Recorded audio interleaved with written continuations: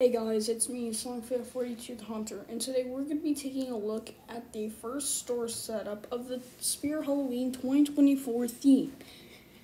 This seems to be set up, if you haven't seen the boxes, and there appears to be this carnival striped tent thing.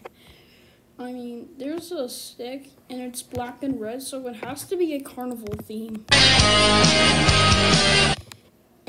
This is what we never seen before. What do you mean never seen before? This is the makeup section. And the location was the Missoula Southgate Triangle at June 14th, 2024, 1 3 p.m. EST. So that was all I had to show you. Bye.